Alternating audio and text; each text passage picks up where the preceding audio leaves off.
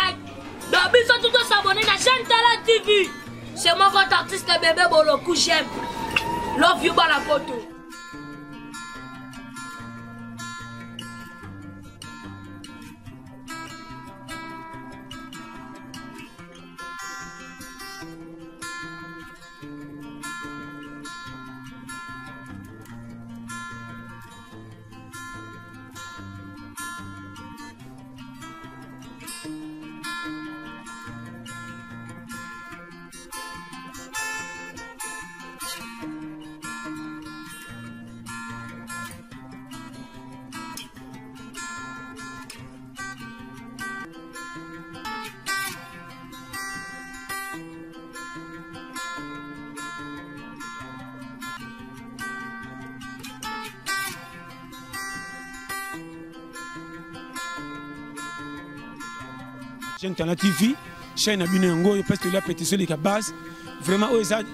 toli ya pete ya lelo eza ya 2019 ya décembre oyo apena boye yo osala nini o oh, théâtre na théâtre osala nini oyo oh, nayeba pete na kamwa kaka mais soki oyo ya jipe oyo ndeni opera na lani ya teyate toteka yango tokabola la yo zwa na biso mpe tozwi na mpo biso bakolisa ouais donc euh, nde nalobi toza na studio toza enregistre nzembu hommage artiste pululu toza na badete relique bato ebele baza awa mai tomoni partite na biso koko bilali move mbote euh, mbote papa boni kimia kimia na ngolo ya nzambe na bamakambo oyo ekweyili biso donc eh, banzoto eza ya kolemba nayebi te toza na triste ya makasi toza na tristesse ya makasi j'allais dire quand apprenaki ke no artiste aza susu to envie akufi esalaki yo bon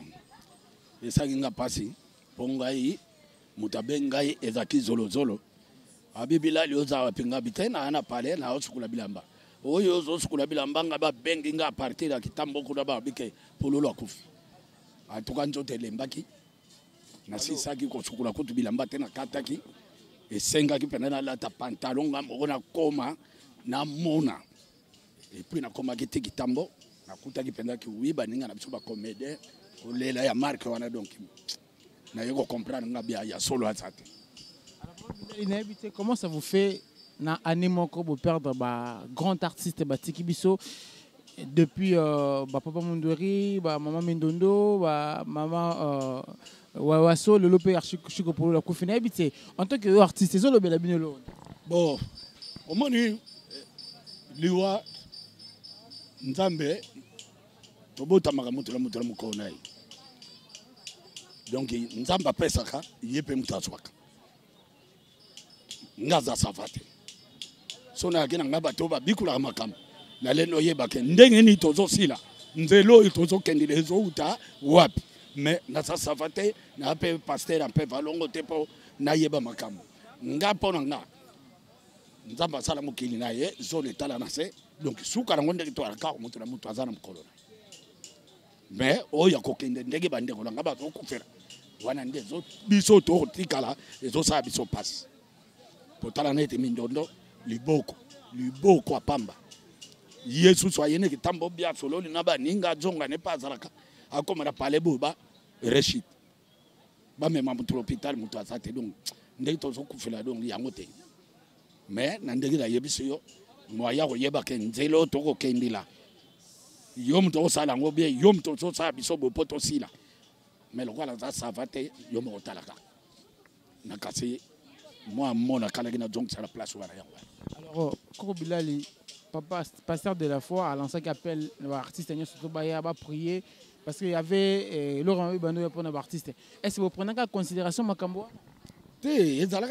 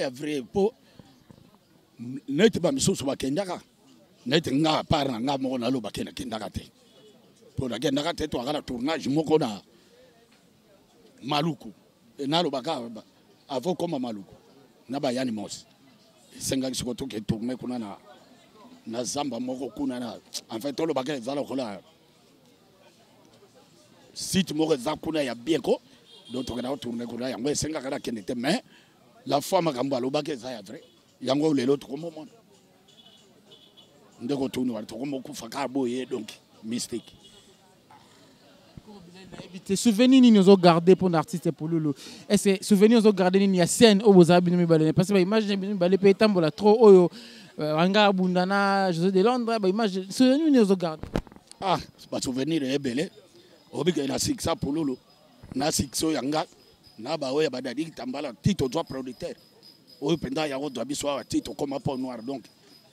na lokwa ye amesanaka na pont noir producteur alelaki kaka non fo boya kojoue awa na babilali na badadi kitambala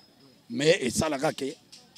ye kutu moto atwaka marché akendaka te mais biso tokendaka na place neti otyaka kiodo mais totravailla mais lokola ye azalaki te donc tobeta me tobeta bien te mpo bato tu balelaki fo pululu aza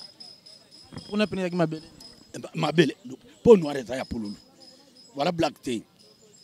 donc tokoma mpenza totravaille na kiodo me bato bazolela kaka pululu bamisusu bazoba kiodo pululu bamisusu balobi ye te tolatela na kati ya plaine na mayamaya tozwa avion toke do na kati ya avion tozala teni na biso se tomilateli kio do na masque do nde tokita na pont noir na plaine na pont noir libanda ya yinda lere kiodo azobima bato mosusu bayebi kapulu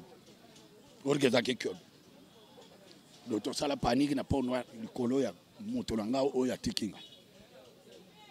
na succès na ngai na oyo aye na oyo ya badadi kitambala donc esalaka bien mais dadi pa akendaka te dadi pa atikalaka mpo seruara bazolobaka bango bakɔtaka maki moko boye ezalaka fo bamema bango mikili dadi siko atikalaka mpo na bongo mais ndenge akufi bodo na etiki nga tâche moko akosakala te alors mpona ozwa bato ebele te toza en plein studio papa bilali est ce que tokoyeba vraie version nini artiste akufeli akufi mpo na nini yango nalobi na yo ti ngai nayebi nzambe maladi nini akufi biloko bon ngai nayebi ka asalaki crise ndenge ntango ngai bayebisi ngai sango nakomi ti kitambo nayoki bongo ke ajongaki ndako asali crise mbala moko bamemi na hôpital na hôpital akufi ale ti ndenge mpe nazwaki information wana oh, tokomi na toleki ma campagne bo bino bokitaka bokendela bino deja na, na morgue na ndenge tozwaki bamoto ememi biso ti morgue na ndenge mpe totyaki ye na ndako ya malilia alors koko bilai tokomi na suka nayebisi est ce que kozala na message moko na bacollègue no artiste eh, bandeko baotala biso bafan par rapport ya makambo to eleki mpe message nini okopesa message na kopesa kaka bato oyo bazoloba bilobaloba batika nzambe moto apesaka nzambe mpe moto azwaka do oyo nyonso ayebi aza artiste azoloba bilobela ya papamba ezanga ntina batika bongo na kasi message na kopesaka yango wana ezala bafani mpo ngai naotambola nazomona mpasi bato mosusu babaloba bazoloba na nga jamais kutula lelo oloba yango na microbe oyo mpo eya na ntina moko te mpo moto oyo amona makambo wana aza te donc nazopesaka conseil oyo to bakoloba mwa bayide wana batika biloko wana beaucoup on a la fin merci à bino tout toza na studio boulot ezo continuer merci